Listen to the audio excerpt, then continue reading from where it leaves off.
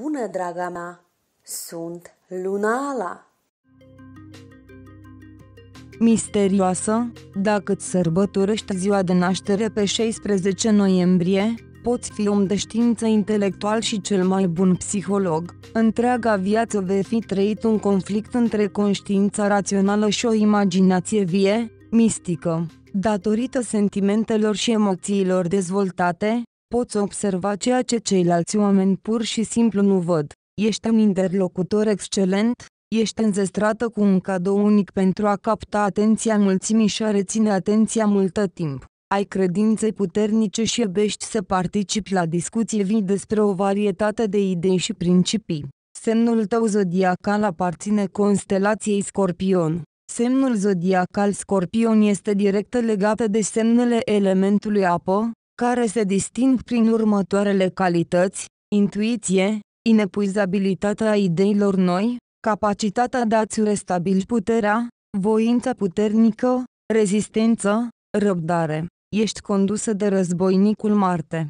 Acest patron ceresc îți oferă pasiuni și energie puternice, curajoasă și activă, nu știi întotdeauna să-ți controlezi agresivitatea, ești energică și ești supusă unor emoții puternice, în special ești geloasă. O minte practică și capacitatea de a acționa ți asigură succesul. Voința și onestitatea ta pot degenera în mângrie și încăpățânare arogantă, iar setea de activitate, într-o mișcare constantă sub influența propriilor instincte, nu întotdeauna bune.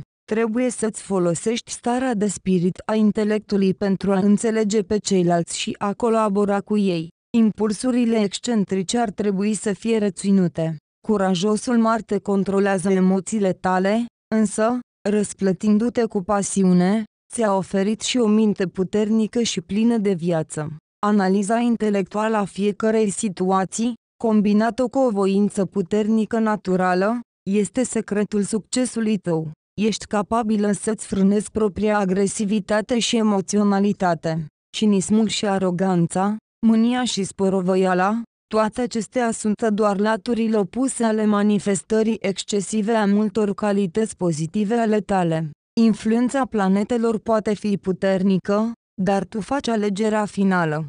Guvernatorul tău astral este Pluto, care determină legătura cu transformările și procesele mentale profunde, schimbări profunde ale personalității, psihanaliză, moarte și renaștere, dar și extrasenzorial. Planeta ta în exil este Venus.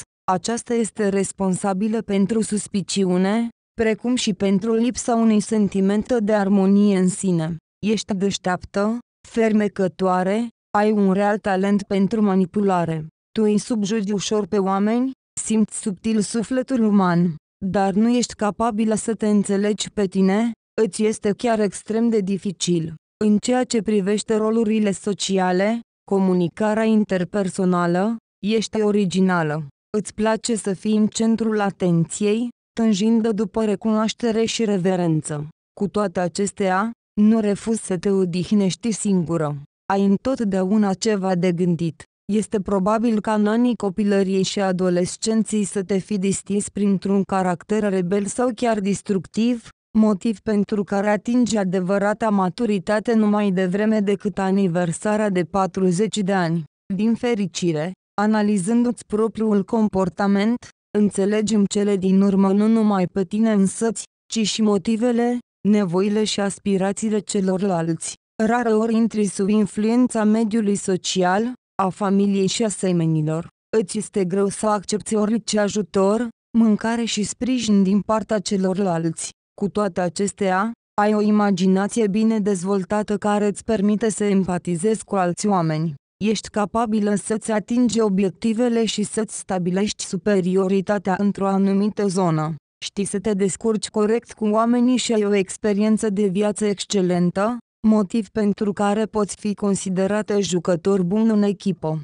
Este chiar bine pentru tine că, în afara farmecului tău, cei din jurul tău pot simți fermitatea caracterului și a hotărârii, prin urmare, se vor gândi de două ori dacă ar trebui să se angajeze într-o confruntare inutilă cu tine. Pe de altă parte, adori să concurezi, Prin urmare poți deveni un rival demn pentru cei care se potrivesc cu nivelul tău. Adesea nu poți realiza mai multe în cariera ta până când ceea ce ai nevoie apare în călătoria ta de viață. Din păcate, așteptarea unei astfel de întâlniri poate dura foarte mult timp. Dragostea nefericită, o căsătorie șoată, eșecurile din sfera sexuală ți o trăvesc literalmente existența. Dacă nu-ți vei fi găsit un partener demn, îți poți trăi viața singură, iar în ciuda naturii independente obții sprijin emoțional exclusiv din comunicarea cu familia și prietenii din copilărie.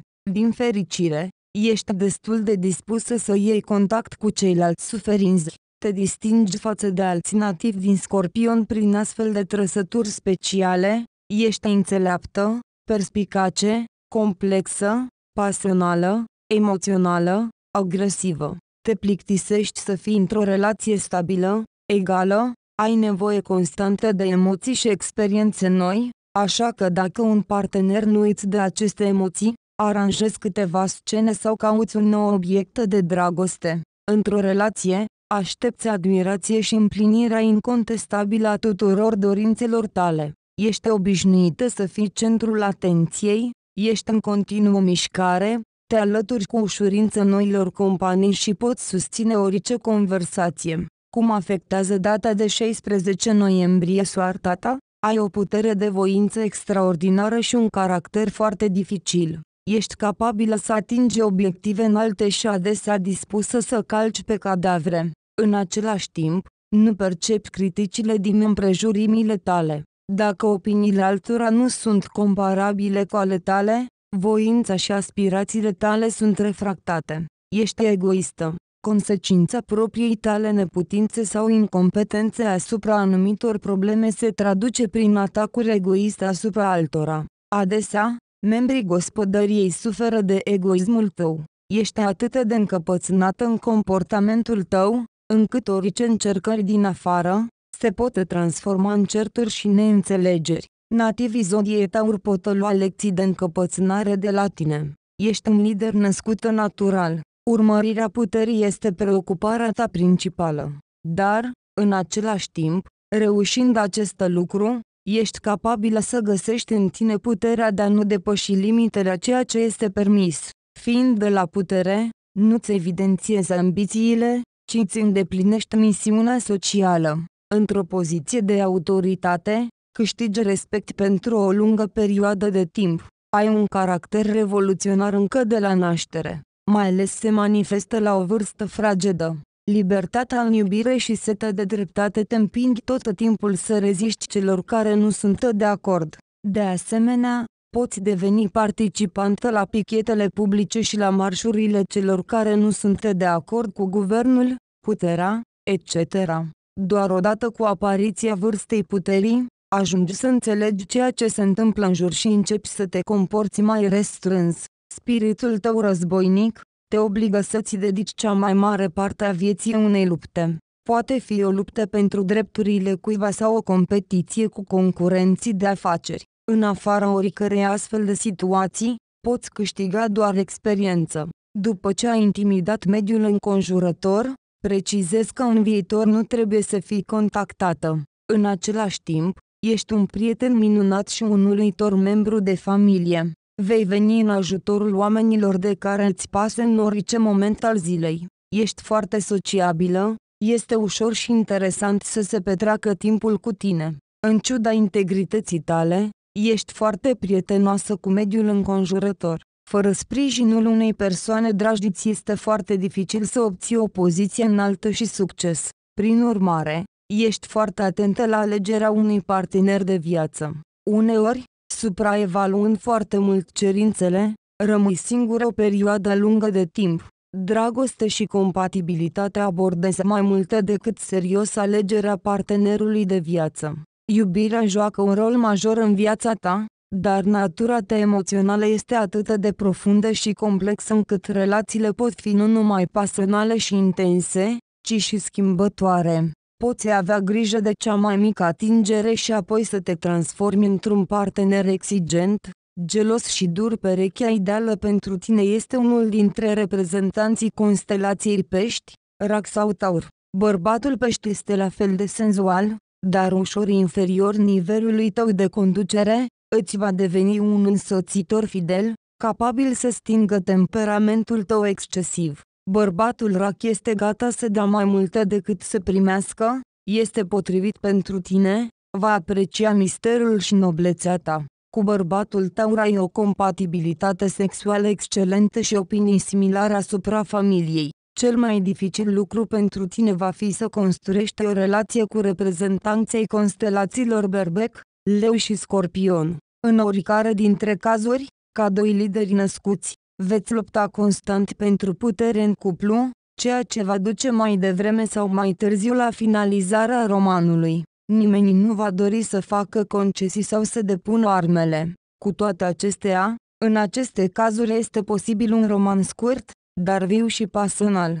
Bărbatul gemeni este independent și instabil, iar tu ești neobișnuită de geloasă. Cu alte cuvinte, această alianță este un adevărat amestec exploziv. Multe lucruri te pot lega de bărbatul fecioară, în primul rând caracteristici comune precum onestitatea, dorința de dreptate, simțul datoriei. O astfel de uniune se bazează pe iubirea prietenie, sprijinul și asistența reciprocă.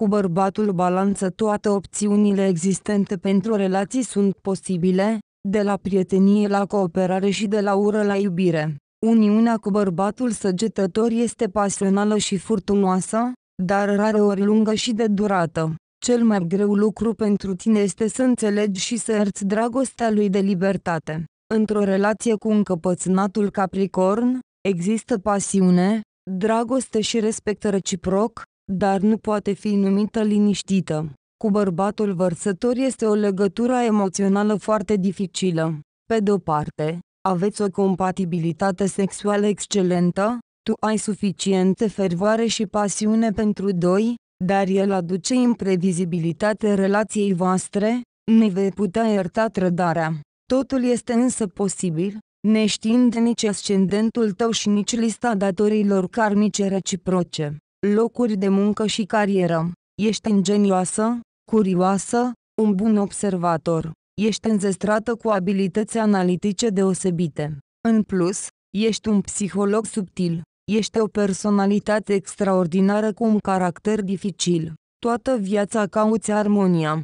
Ai o imaginație dezvoltată, concentrată pe misticism și conștiința rațională. Trăsăturile opuse fac personalitatea ta foarte strălucitoare, interesantă, dar conflictul intern este destul de dureros. Ești un lider talentat, restrâns, loial și corect. În rolul unui subordonat, te simți minunat. Dar aceste lucru este valabil în condițiile în care conducerea ia în considerare opinia ta. Dezvoltarea profesională este doar meritul tău.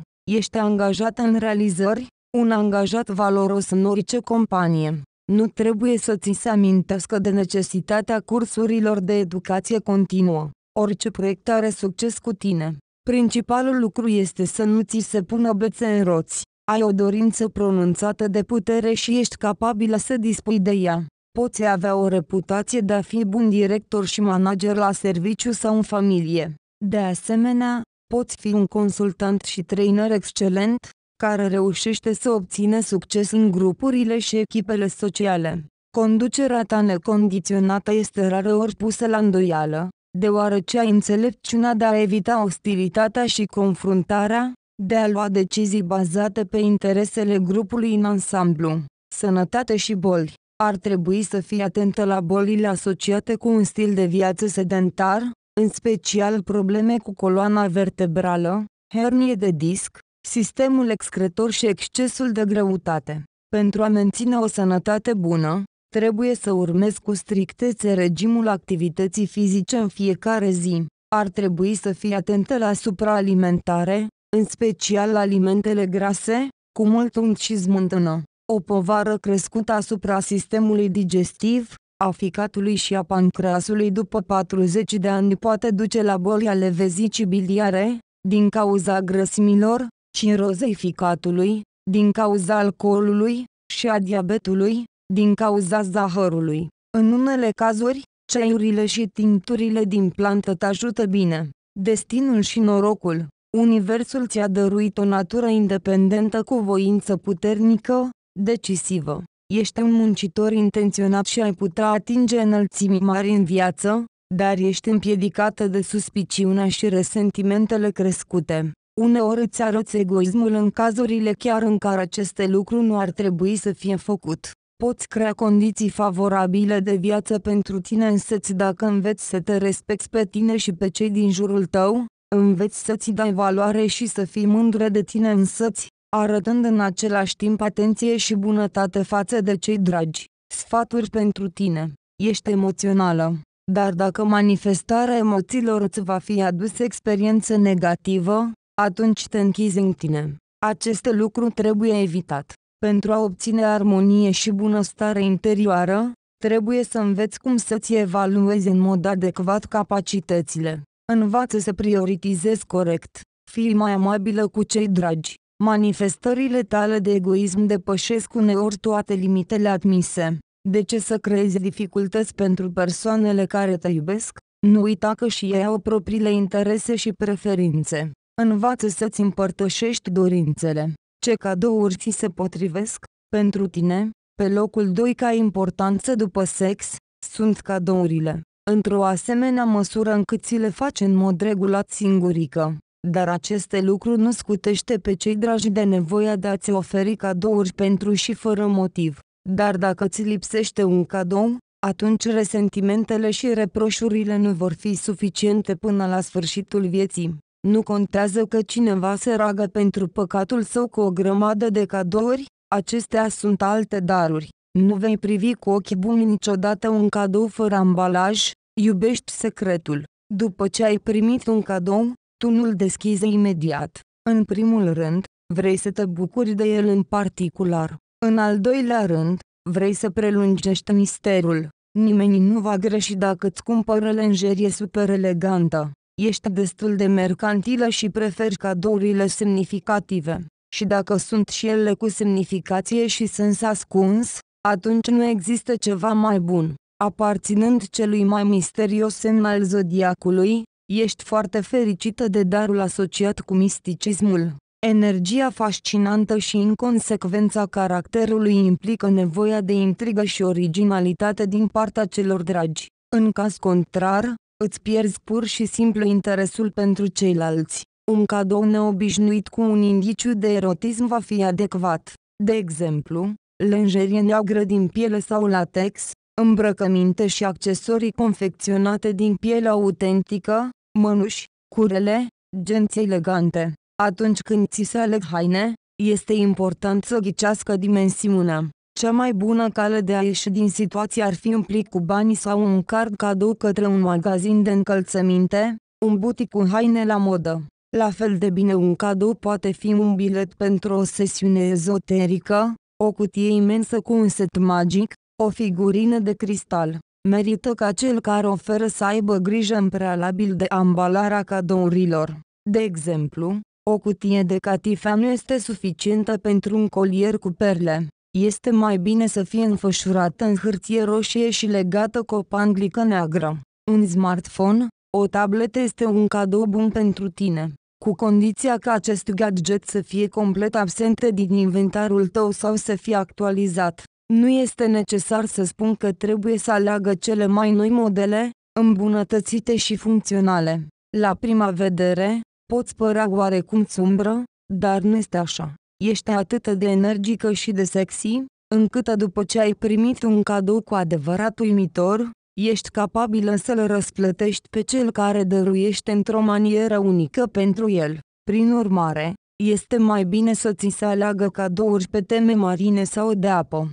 Culoarea prezentărilor poate fi diferită, dar este mai bine să acorde preferință albastru, cian, turcoaz, violet, verde. Un inel cu acvamarine sau turcoaz este un cadou minunat pentru tine. Produse de blană, paltoane de blană scurte, pantofi cu garnituri de blană, diverse accesorii decorate cu blană le vei aprecia. Nu vei renunța la lucrurile cu dantelă, poate fi fie o față de masă cu dantelă, fie un set de lenjerie franceză scumpă. Este clar că toate recomandările sunt destul de arbitrare.